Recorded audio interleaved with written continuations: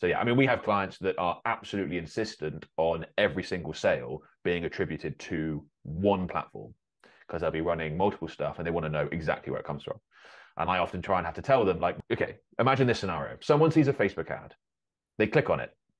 Three days later, they remember the name, they Google it.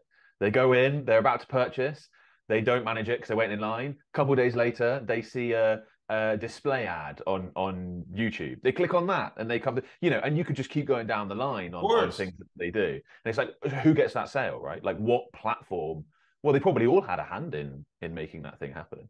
Um, but there are those that just want to they want it one because they want to be able to take a look at all the various agencies or departments within their company that are doing things and go, you're producing this and you're costing this, and you're producing this and you're costing this. But like with any business, any positive profile raising of the company, the brand, or the main, you know, let's say it's like a person-led company, the personal brand of that person is going to deliver massive returns over time. But yeah, as I said, not many people have have that approach.